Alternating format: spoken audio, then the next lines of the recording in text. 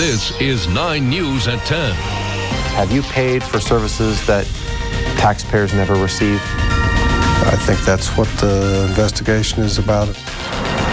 Tonight, a 9 wants to know investigation allegations that Adams County repeatedly paid for road projects that never happened.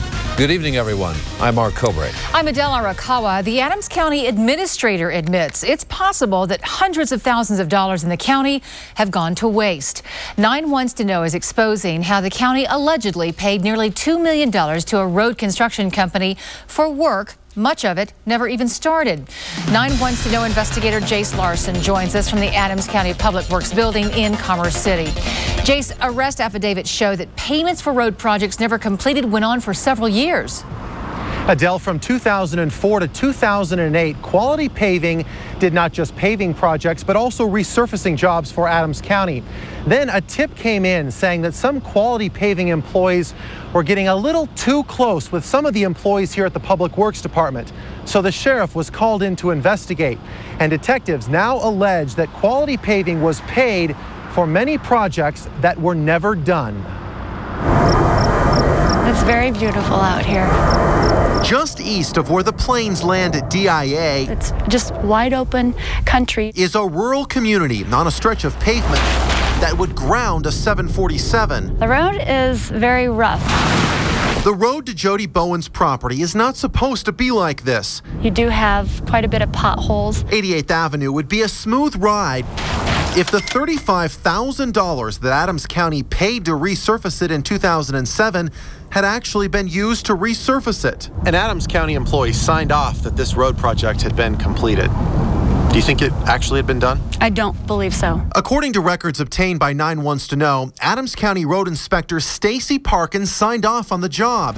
For a year and a half, few others realized the work hadn't been done. Then the county looked into a tip alleging county workers were in collusion with quality paving. In court records exposed in this report for the first time, evidence suggests the alleged collusion included not just Parkin, but her former boss, Public Works Construction Manager Sam Gomez. He has since retired. The allegations certainly involve road work, and they involve uh, the fact that uh, the county paid for something we didn't receive.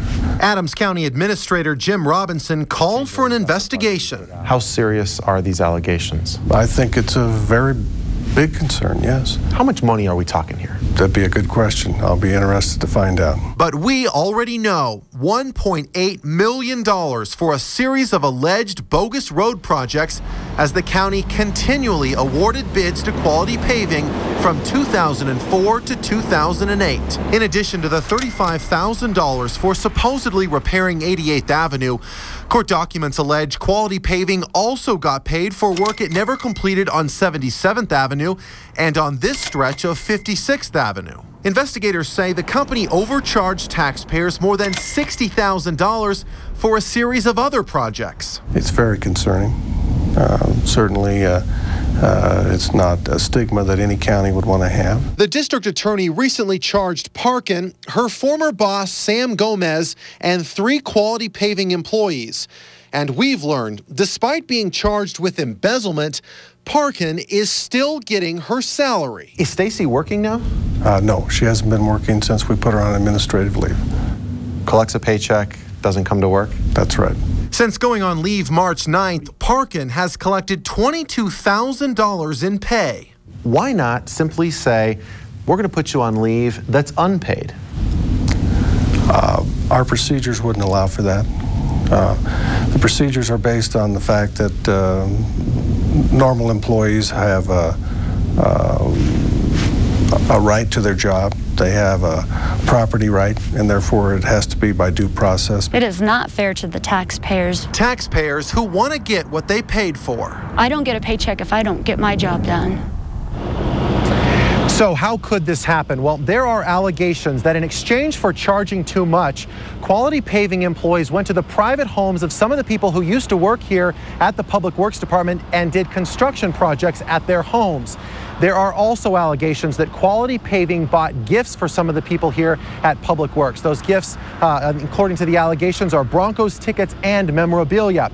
Now, the county hopes that it has fixed this problem by implementing uh, a new policy that forbids employees from accepting gifts from companies with which it has contracts. Adele? So, Jace, does the county hope to get any of its money back? Well, it will not get any of the money back uh, when you look at what it's paying Stacy Parkin. In fact, she's still collecting a paycheck, some $4,000 she is receiving every month.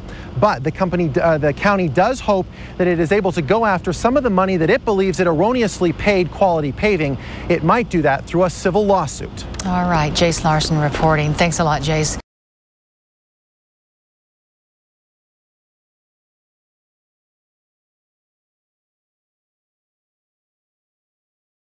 88th Avenue would be a smooth ride if the $35,000 that Adams County paid to resurface it in 2007 had actually been used to resurface it. An Adams County employee signed off that this road project had been completed.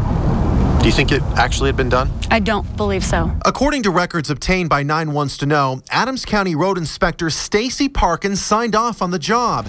For a year and a half, few others realized the work hadn't been done.